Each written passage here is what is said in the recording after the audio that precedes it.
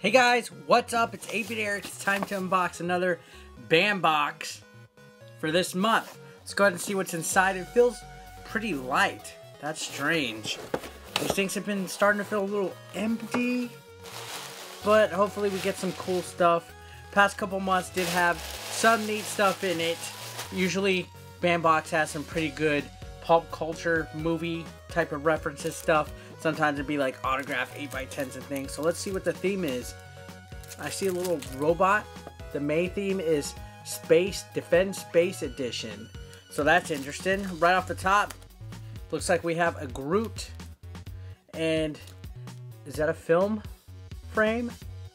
After his heroic sacrifice during the culmination of the Guardians' first adventure, Groot is now in the process of regrowing his body. So this is a certificate of authenticity back here. And it looks like it's a, a piece of the film, of a film. So that's kind of actually, that's actually pretty cool. I'll be uh, checking out the thing at the end of this to confirm what it is. Looks like we have the War of the Worlds, H.G. Wells.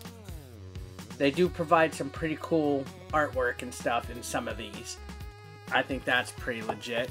Let's check out one more thing. Oh, Tom Kane, and it is a autographed cell from one of the Star Wars Clone Wars, probably.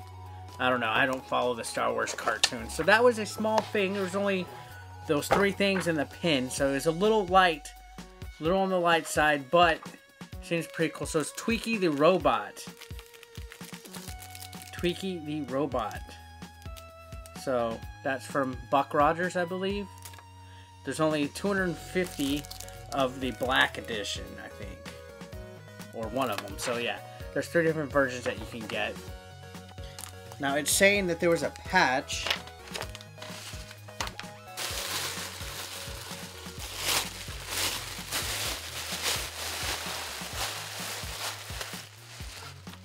saying there's a patch in here, but I didn't see the patch.